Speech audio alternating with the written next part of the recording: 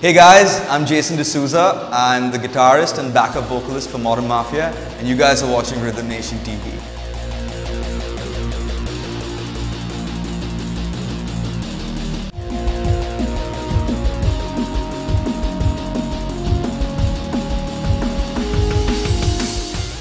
I've always been introduced to music as a child, you know. I've been introduced to bands like Crosby, Stills and Nash. I've been introduced to bands like the Eagles, the Beatles, and um, I've always loved music as, you know, a thing, you know. And I've always loved playing instruments as well, you know. Aca- academically, not the best, but um, my mom pushed me to study the piano for a while, and then I tried to pursue the violin and the drums as well.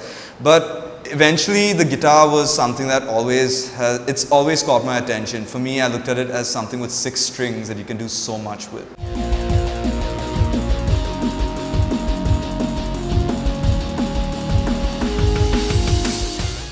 I used to watch a lot of the Beatles shows and just see John Lennon and just watch him with the guitar. You know, Kurt Cobain was actually a like one of the first people who actually saw play the guitar and just you know, from the way he was strumming to the fact that he was even left-handed, put a big toll on me because I was very young at this time, you know. But I could safely say that he is someone who inspired me to actually pick up and make the guitar an instrument and not just a layer in the background because that's what he did. He made the guitar his instrument.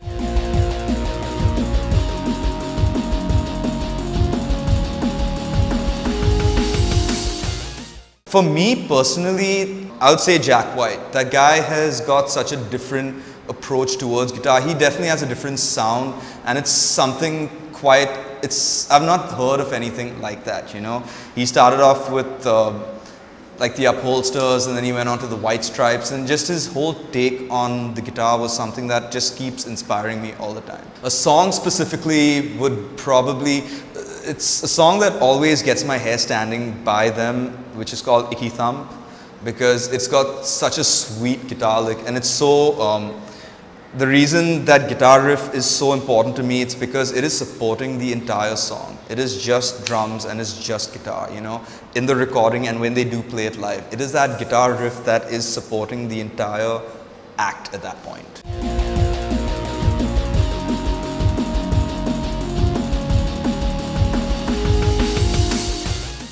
I have, uh, there's this guy named Gary Clark Jr. who I've been watching, who I've been listening to off late, but I've had the chance to see Buddy Guy live and just to see him play his guitar and he, he, he doesn't even look at the fretboard when he plays, you know.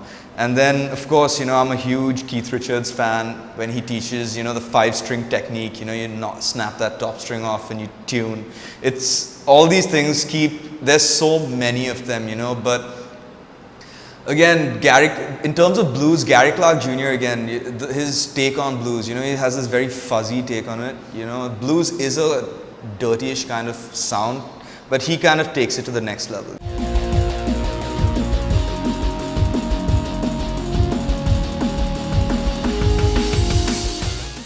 Robert Johnson, I just watched. Recently I just uh, saw that movie Crossroads, which was based on the whole legacy of Robert Johnson, and the whole folklore behind him is fascinating as hell, you know.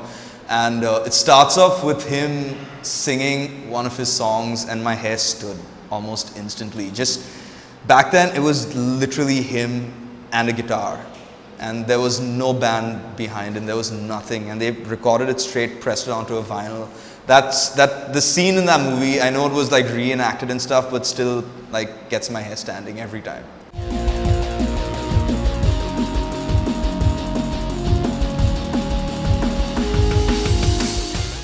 I personally started off with covers, you know, I'd, lis- I'd listen to so many bands and the, the main thing that I always thought about was how do they get this sound out, you know, and the music that I listen to is like the genres are so vast, you know, Wes Borland from Limp Bizkit, you know, I can, ima- I can remember me sitting down and wondering how did he get that guitar sound the way it did.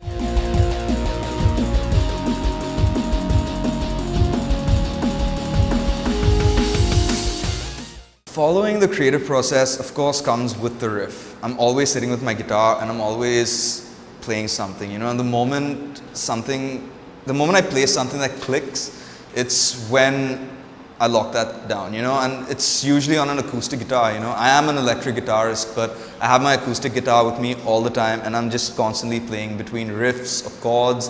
It doesn't have to be something complex, but it has to be something catchy, you know, that catches the people, you know.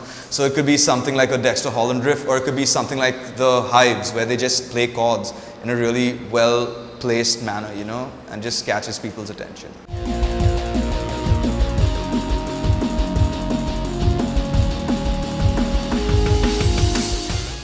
I always have my phone handy. Every time I think about something, I'll definitely press a record button and play. You know, I'll just play so that it's because I forget riffs all the time. I'm always, I'm always riffing out. You know, I'm always, even when I have my electric guitar set up, I'm pressing on pedals. You know, effects units play a big role with me as well.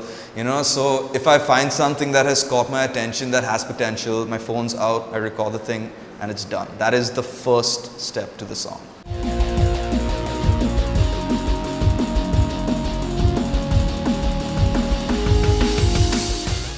I have studied the guitar, I, uh, not too much, I really need to study more, but I have, I did two years of Spanish guitar and two years of like rock guitar, you know, like I studied in rock school for a bit and then I just stopped because um, for me, I wanted to spend more time in the creative process, but I'm right now understand like I know what my limitations are. Now I want to expand, you know. So yeah, studying is has been important for me.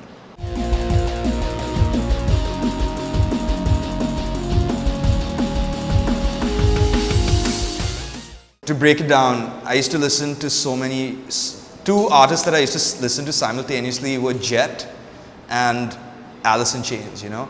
And the way they like uh, Jet was a very so for Jet I love Jet so much especially their first album because the sound of you know a Gretsch going through a Vox AC30 for me was what sound was supposed to be. It, it was such a beautiful sounding record. The songs were simple you know and then Jerry Cantrell using his Fender Strat going through you know, his Mesa Boogie amp, you know, that different style. And yet it did not sound anything like any other band who used the same uh, equipment, you know. It's just the way he played it, you know. So it's people like them that inspire me all the time when I am writing music, you know. I'm a fan of distortion, but I'm also a fan of strumming and playing chords, not just power stuff, you know.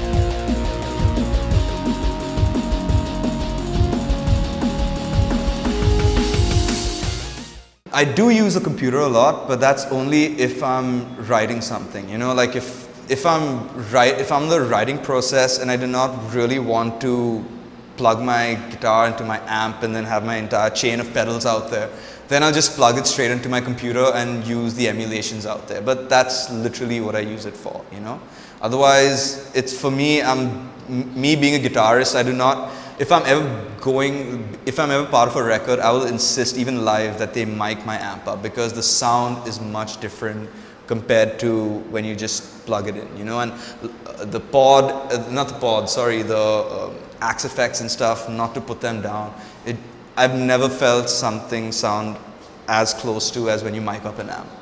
That is the main thing for me.